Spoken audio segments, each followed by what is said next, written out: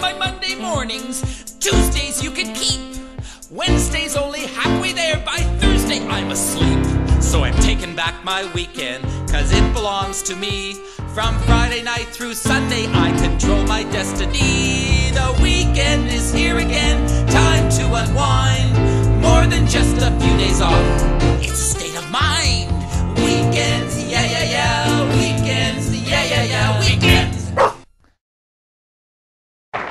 told you about my friend Vince off the top of the show, sort of a combination of Martha Stewart on drugs and Bob Deal with a sense of humor. Well, he's here.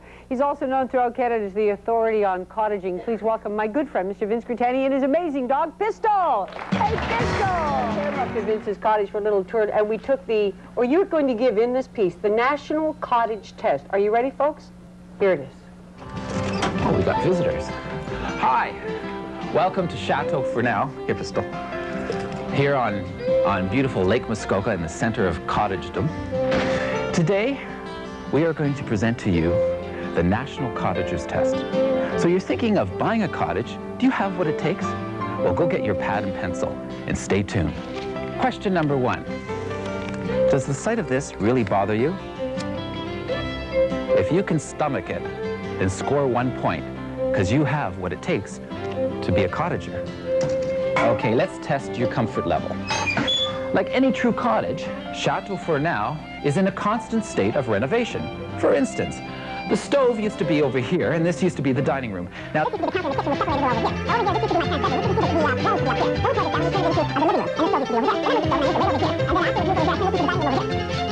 now, if you've remained calm through this whole thing, score one point.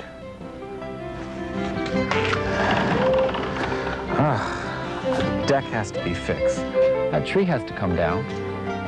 Septic has to be repaired. And the roof's the leak. Hmm, but no problem, because all cottagers have. Municipalities think that all cottagers can. You don't have to have a perfect score to be a, a real cottager. That in spite of the taxman, the rainy day weekends, the guests from hell, the neighbors that are too wild for words, that in spite of everything, you still know how to appreciate this. And only then are you a true cottager.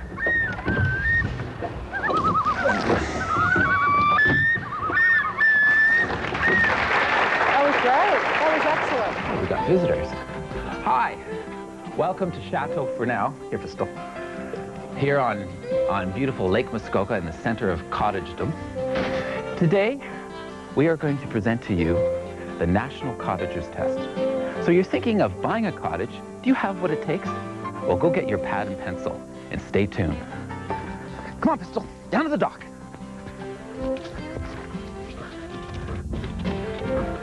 This is the dock, the center of activity here at the cottage. And like most things, it's in need of a lot of repair. Question number one. Does the sight of this really bother you? If you can stomach it, then score one point, because you have what it takes to be a cottager. Okay, let's test your comfort level. Like any true cottage, Chateau Fourneau is in a constant state of renovation. For instance, the stove used to be over here, and this used to be the dining room. Now,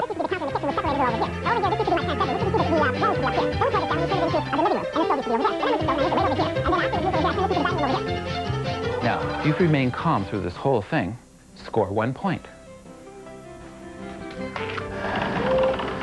Ah, the deck has to be fixed. That tree has to come down.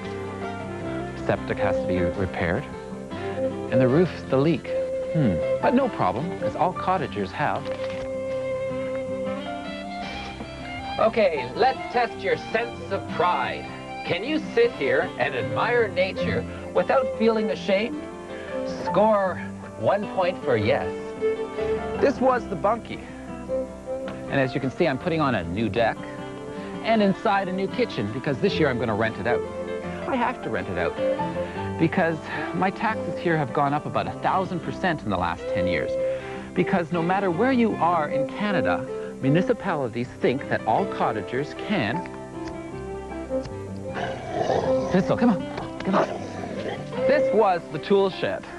And like most cottagers, I'm never going to be defeated. Score one point if you can guess what I'm using it for now. This mouse-ridden shack is now the new guest house. Okay, everybody, get up. What do you think this is, a hotel? The truth is, you don't have to have a perfect score to be a, a real cottager. That in spite of the taxman, the rainy day weekends, the guests from hell, the neighbors that are too wild for words, that in spite of everything, you still know how to appreciate this. And only then are you a true cottager.